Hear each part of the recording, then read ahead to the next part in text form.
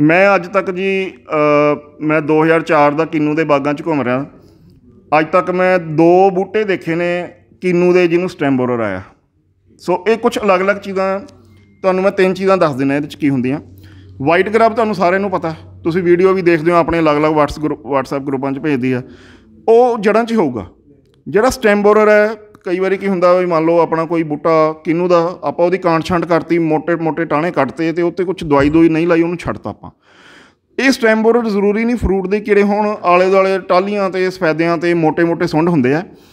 ਜਦੋਂ ਮੰਨ ਲਓ ਕੋਈ ਬੂਟਾ ਭਾਵੇਂ ਸਿਉਂਕ ਨਾਲ ਮਰ ਗਿਆ ਜਾਂ ਬਿਮਾਰੀ ਨਾਲ ਮਰ ਗਿਆ, ਤੁਹਾਡੇ ਖੇਤ ਦੇ ਬੰਨੇ ਆਲੇ ਦੁਆਲੇ ਕਿਤੇ ਲੱਗਿਆ ਤੇ ਆਪਾਂ ਉਹਨੂੰ ਨਹੀਂ ਪਟਿਆ ਜਾਂ ਉੱਤੇ ਕਦੇ ਕੋਈ ਸਪਰੇਅ ਨਹੀਂ ਕੀਤੀ, ਤੇ ਤੁਸੀਂ ਦੇਖਿਆ ਹੋਊ, ਉਹ ਬੂਟੇ ਦੇ ਵਿੱਚ ਮੋਟੀਆਂ-ਮੋਟੀਆਂ ਮੋਰੀਆਂ ਹੋ ਜਾਂਦੀਆਂ। ਉਹ ਜਾਂ ਤੁਸੀਂ ਕੋਈ ਟਾਲੀ ਪੱਟੀ ਉੱਥੇ ਬਾਗ 'ਚ ਸਿੱਟਤੀ। ਉਹਨੂੰ ਇੱਕ ਥੱਲਿਓਂ ਸਿਉਂਕ ਲੱਗ ਗਈ। ਥ- ਵਿਹਲੇ ਪਏ ਨੂੰ ਉਹਦੇ 'ਚ ਮੋਰੀਆਂ ਹੋ ਜਾਂਦੀਆਂ, ਬਰੀਕ ਮੋਰੀਆਂ ਤੋਂ ਲੈ ਕੇ ਮੋਟੀਆਂ ਮੋਰੀਆਂ।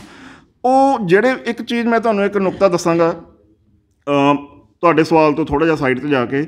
ਜਦੋਂ ਵੀ ਤੁਸੀਂ ਬਾਗ 'ਚ ਕੋਈ ਬੂਟਿਆਂ ਦੀ ਚ- ਕਾਂਟ ਛਾਂਟ ਕੀਤੀ ਆ ਜਾਂ ਆਪਾਂ ਲੱਕੜ ਸੰਭਾਲ ਲੈਂਦੇ ਹਾਂ, ਕਈ ਵਾਰੀ ਕੋਈ ਬੂਟਾ ਵੱਢ ਗਿਆ, ਟੁੱਟ ਗਿਆ, ਵੀ ਲੱਕੜ ਰੱਖ ਲਈ ਕੱਲ ਨੂੰ ਫਰਨੀਚਰ ਦੇ ਤੌਰ ਤੇ ਕੰਮ ਆਊਗੀ।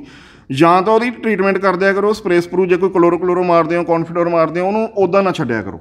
ਅਸੀਂ ਦੇਖਿਆ ਬਾਗਾਂ ਦੇ ਵਿੱਚ ਕਈ ਵਾਰੀ ਆਪਾਂ ਅਨਅਟੈਂਡਡ ਲੱਕੜਾਂ ਵੈਸੇ ਹੀ ਕੱਟ ਕੇ ਸਾਈਡ ਤੇ ਰੱਖੀਆਂ ਹੁੰਦੀਆਂ ਉਹਦੇ 'ਚ ਜੇ ਤੁਹਾਡੇ ਬਾਗ 'ਚ ਸਿਉਂਕ ਨਹੀਂ ਵੀ ਹੈਗੀ, ਫਿਰ ਵੀ ਆਊਗੀ। ਸਿਉਂਕ ਜ਼ਮੀਨ ਦੇ ਥੱਲੇ ਚੱਲਦੀ ਹੁੰਦੀ 2-2 ਫੁੱਟ 3-3 ਫੁੱਟ ਡੂੰਘੀ। ਉਹਨੂੰ ਜਦੋਂ ਭੋਜਨ ਮਿਲਣਾ, ਉਹਨੇ ਉਦੋਂ ਉੱਪਰ ਆਉਣਾ। ਹੋ ਸਕਦਾ ਆਪਣੇ ਬਾਹਰ ਇੱਥੇ ਆਲੇ ਦੁਆਲੇ ਬਾਗਾਂ 'ਚ ਸਿਉਂਕ ਹੋਵੇ ਥੱਲੇ, ਪਰ ਆਪਣੇ ਬਾਗ ਦਾ ਨੁਕਸਾਨ ਨਾ ਕਰਦੀ ਹੋਵੇ, ਕਿਉਂਕਿ ਉਹਨੂੰ ਉੱਥੋਂ ਪ੍ਰੋਪਰ ਭੋਜਨ ਨਹੀਂ ਮਿਲ ਰਿਹਾ।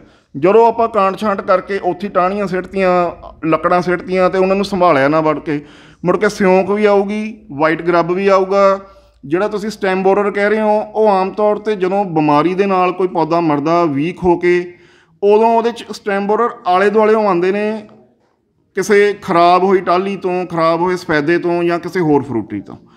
ਆਂਦੇ ਆ, ਪਰ ਤੁਹਾਨੂੰ ਮਤਲਬ ਮੈਂ ਦੱਸ ਰਿਹਾ ਵੀ ਮੈਂ ਪਿਛਲੇ 18-20 ਸਾਲਾਂ 'ਚ ਦੋ ਕਬੂਟੀ ਦੇਖੇ ਨੇ, ਜਿਨ੍ਹਾਂ 'ਚ ਕੀਨੂ ਨੂੰ ਸਟੈਂਬਰੋਰ ਆਵੇ ਉਹ ਆਪਣੀ ਪ੍ਰੋਬਲਮ ਨਹੀਂ ਹੈਗੀ ਇੱਥੋਂ ਦੀ।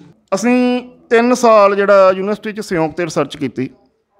ਥੋੜਾ ਜਿਹਾ ਮੈਨੂੰ ਭੂਮਿਕਾ ਬਣਨੀ ਪੈਣੀ ਹੈ। ਨਾਖਾਂ ਦਾ ਸਾਡਾ ਬਾਗ ਸੀ, ਯੂਨੀਵਰਸਿਟੀ ਦਾ ਨਵਾਂ ਲਾਇਆ ਬਾਗ 2 ਸਾਲ ਦਾ ਹੋਊਗਾ। ਅਸੀਂ ਉੱਥੇ ਕੋਈ ਤਜਰਬਾ ਕਰਨ ਗਏ ਤੇ ਦੇਖਿਆ ਵੀ 4-4 5-5 ਫੁੱਟ ਜਿਹੜੀ ਉਹਦਾ ਤਣਾ ਸੀ ਸਿਉਂਕ ਨਾਲ ਭਰਿਆ ਹੋਇਆ। ਤੇ ਸਾਡੇ ਉਸ ਏਰੀਆ 'ਚ ਸਿਉਂਕ ਨਹੀਂ ਸੀ ਪਹਿਲਾਂ। ਜਦੋਂ ਅਸੀਂ ਥੋੜੀ ਤਹਿਕੀਕਾਤ ਕੀਤੀ, ਦੇਖਿਆ ਵੀ ਉਸ ਬਾਗ ਤੋਂ ਐਵੇਂ 500 ਮੀਟਰ 100 ਕੁ ਮੀਟਰ ਦੂਰ ਵਰਮੀ ਬਣੀ ਹੋਈ ਸੀ, ਸਿਉਂਕ ਦਾ ਘਰ ਬਣਿਆ ਸੀ।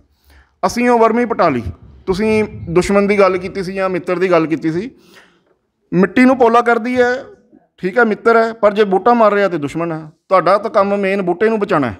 ਜੇ ਬੂਟਾ ਮਰ ਗਿਆ, ਤਾਂ ਫਿਰ ਸਿਉਂਕ ਸਾਡੇ ਲਈ ਦੁਸ਼ਮਣੀ ਹੈ। ਅਸੀਂ ਉਹ ਵਰਮੀ ਪਟ ਲਈ ਉੱਥੋਂ। ਉਹਦੇ ਚ ਸਿਉਂਕ ਦੀ ਰਾਣੀ ਕੱਢ ਲਈ, ਰਾਜਾ ਕੱਢ ਲਿਆ ਉਸ ਸਾਡੇ ਜੋ ਲੈਬੋਰਟਰੀ ਦੀ ਕੋਈ ਸਟੱਡੀ ਸੀ ਅਸੀਂ ਕਰ ਲਈ। ਸੋ ਉਹ ਵਰਮੀ ਪੱਟੀ ਜਦੋਂ ਤਾਂ 2 ਫੁੱਟ ਪੱਟੀ, ਉਹਦੇ ਚ ਫੁੱਟਬਾਲ ਦੀ ਬਾਲ ਜਿੰਨਾ ਛੋਟੇ ਸਾਈਜ਼ ਦਾ ਇੱਕ ਪ- ਚੀਕਣੀ ਮਿੱਟੀ ਦਾ ਗੋਲਾ ਜਿਹਦੇ ਚ ਬਰੀਕ ਬਰੀਕ ਮੋਰੀਆਂ ਸੀ। ਸੋ ਉਹਦੇ ਵਿੱਚ ਰਾਜਾ ਰਾਣੀ ਸੀ। ਹੁਣ ਗੱਲ ਇਹ ਹੈ ਵੀ ਜੇ ਤੁਸੀਂ ਆਪਣੇ ਏਰੀਆ 'ਚ ਸਿਉਂਕ, ਮੈਂ ਐਜ਼ ਐਂਟੋਮੋਲੋਜਿਸਟ ਇਹ ਨਹੀਂ ਕਦੇ ਕਹਿੰਦਾ ਵੀ ਕੀੜਿਆਂ ਦਾ ਨਾਮ ਨਿਸ਼ਾਨ ਮਿਟ ਜਾਊਗਾ, ਉਹਨਾਂ ਦੀ ਗਿਣਤੀ ਘਟਦੀ ਹੈ। ਕਦੇ ਵੀ ਬੀ ਨਾਸ਼ ਨਹੀਂ ਹੁੰਦਾ, ਕੁਦਰਤ ਕਰ ਦੇ ਤੇ ਕਰ ਦੇਵੇ। ਸੋ ਤੁਸੀਂ ਉਹ ਜੇ ਸਿਉਂਕ ਨੂੰ 95% ਘਟਾਉਣਾ ਹੈ, ਤਾਂ ਜਿਹੜੇ ਤੁਹਾਡੇ ਪਿੰਡਾਂ 'ਚ ਯੂਥ ਕਲੱਬ ਨੇ ਰਲ ਮਿਲ ਕੇ ਬਾਗਾਂ ਦੇ ਵਿੱਚ ਖੇਤਾਂ 'ਚ ਜਿੱਥੇ ਵਰਮੀਆਂ ਨੇ, ਉਹਨਾਂ ਨੂੰ ਨਸ਼ਟ ਕਰੋਗੇ। ਵਰਮੀਆਂ 2-2 ਫੁੱਟ ਡੂੰਘੀਆਂ ਪੱਟ ਲਓ, ਉਹਨਾਂ 'ਚ ਤੁਹਾਨੂੰ ਬੋਲ ਮਿਲੂਗੀ, ਜਿਹਨੂੰ ਨਸ਼ਟ ਕਰਕੇ ਰਾਣੀ ਨਸ਼ਟ ਕਰ ਦਿਓ। ਘੱਟੋ ਘੱਟ 5 ਸਾਲ ਦੁਆਰਾ ਸਿਉਂਕ ਨਹੀਂ ਆਊਗਾ ਉਸ ਏਰੀਆ 'ਚ। ਇਹ ਮੇਰਾ ਆਪਣਾ ਜਾਤੀ ਤਜਰਬਾ ਹੈ। ਅਸੀਂ ਜਿੱਥੇ ਉਹ ਸਿਉਂਕ ਕੱਢੀ ਆ, ਉਸ ਏਰੀਆ 'ਚ ਸਾਡੇ ਘੱਟੋ ਘੱਟ 2-2 ਏਕੜ 'ਚ ਦੁਬਾਰਾ ਸਿਉਂਕ ਨਹੀਂ ਆਈ ਉੱਥੇ ਉਹ। ਸੋ ਇਹਨੂੰ ਇਹ ਨਹੀਂ ਹੈ ਕਿ ਖਤਮ ਨਹੀਂ ਹੋ ਸਕਦੀ। ਆਪਾਂ ਨੂੰ ਕਈ ਵਾਰੀ ਉਹਦਾ ਜਿਹੜਾ ਜੀਵਨ ਚੱਕਰ ਹੈ ਸਿਉਂਕ ਦਾ, ਉਹਦੀ ਉਨੀ ਜਾਣਕਾਰੀ ਨਹੀਂ ਹੁੰਦੀ। ਤੁਸੀਂ ਉਹਨੂੰ 2-2 ਫੁੱਟ ਪੱਟੋ ਤੇ ਹੋ ਸਕਦਾ 3 ਫੁੱਟ ਡੂੰਘੀ ਵੀ ਹੋਵੇ। ਜਦੋਂ ਤੁਸੀਂ ਪੱਟੋਗੇ, ਤੁਹਾਨੂੰ ਲੱਗੂਗਾ ਵੀ ਥੱਲੇ ਸੁਰੰਗ ਹੀ ਜਾ ਰਹੀ ਹੈ। ਇੰਨਾ ਜ਼ਿਆਦਾ ਇਹਨਾਂ ਨੇ ਥੱਲੇ ਤਾਣਾ ਬਾਣਾ ਹੁੰਦਾ।